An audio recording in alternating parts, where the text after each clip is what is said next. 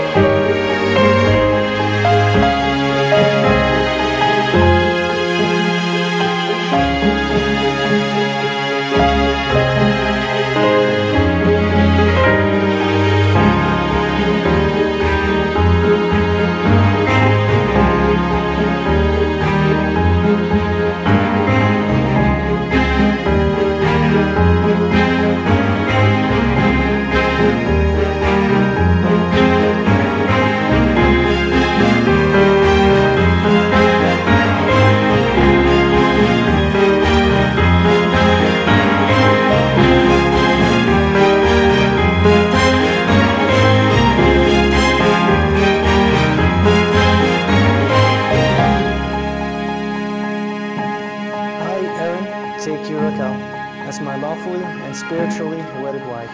I take you from this day forward, for better or for worse, until death do us part. I, Raquel, take you, Aaron, as my lawfully and spiritually wedded husband. I promise to love, honor, and comfort, and spiritually build you up, for better or for worse, till death do us part.